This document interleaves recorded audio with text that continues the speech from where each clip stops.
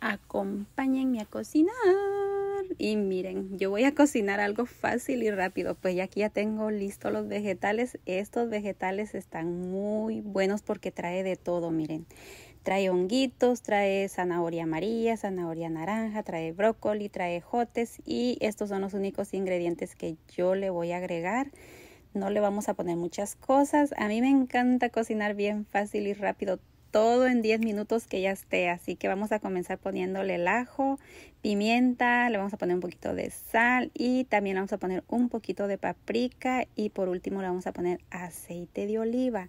Eso es lo único que le vamos a poner y como no tenemos guantes, así que nos tocó que ponernos una bolsa para poder mixtear estos vegetales.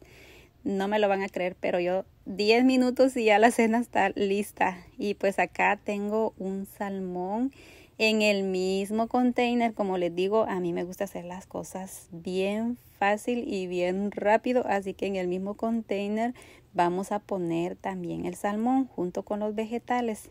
Vamos a hacer cuatro pedazos. Y pues esto nomás le vamos a agregar em, un poquito de limón. El limón no puede faltar en el salmón porque ese le da bastante sabor cuando ya está bien cocinado y también le vamos a agregar un poquito de paprika. A mí me gusta usar la, paprika casi en todas las comidas. casi a todas les, agrego paprika porque le da un sabor muy diferente. Y también le vamos a agregar un poquito de sal de Himalaya. No mucho. Bueno, se ve que le estoy poniendo mucho, pero no. Este bote no tira mucha sal.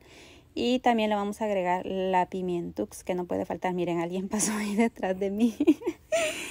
Y lo que también uso en todas mis comidas y no puede faltar es el ginger, el jengibre, ese no puede faltar. Aquí le vamos a poner unas hojitas de perejil que ya viene seco, o sea, sparley.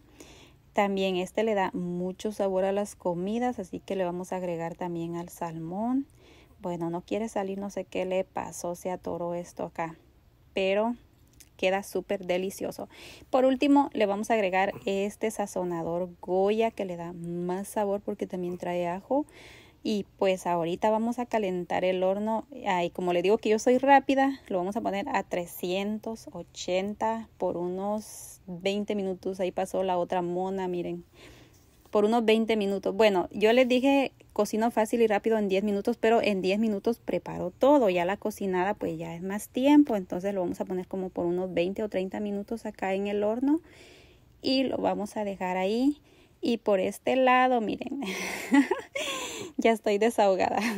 Por este lado vamos, como les digo, me gusta hacer las cosas fácil y rápido. Les vuelvo a repetir porque acá le puse de este papel que es para hornear la verdad no me gusta lavar trastes quemados, entonces yo le pongo de ese papel para que cuando ya esté cocinado solo quito el papel y el traste quedó limpio, ya solo le paso una agüita con jabón y ya.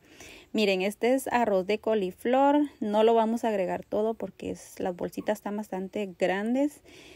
Y este me gusta a mí porque ya viene listo, miren, ya no tiene uno que picarlo ni nada, ya nomás es de ponerlo a cocinar. También le vamos a agregar el aceite de oliva. El día de hoy vamos a estar bastante healthy, o sea, bastante saludables. Pimienta y también polvo de ajo que no debe de faltar y la, la, la paprika, la paprika y un poquito de sal. Les digo que casi en todas mis comidas yo agrego paprika. Ahorita lo vamos a mixtear todo para que todo agarre el saborcito de paprika. Miren, todas estas comidas que yo preparo la verdad que son bien fáciles. Eh, también lo vamos a llevar al horno, lo vamos a dejar ahí y listo. Así quedó ya nuestra comida, miren. Ahí lo vamos a dejar. Y pues esta es nuestra cena el día de hoy. Miren qué deliciosa la comida. Así nos quedó. Este es el plato de Toby. Ahí le pongo muchos vegetales, también coliflor y su pedazo de salmón. Y pues eh, los demás platos es para mi esposo, para mi hija y para mí.